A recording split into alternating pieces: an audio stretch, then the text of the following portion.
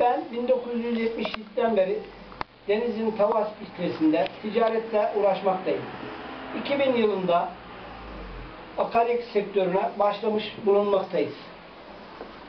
Başarımızın yegane sebebi müşteriye güler yüz, kaliteli mal, temiz hizmet vermekte beraber istasyonumuzda, personelimizle beraber çalışıyoruz. Bundan sonraki yıllarda da aynı şekilde çalışmaya devam edeceğiz. Tüm ticaretle uğraşan arkadaşlarıma hayırlı işler dilerim. Allah herkesin nasibine cümleyle beraber versin. Ben Sayit Büyük Tarakçı. Teşekkür ederim.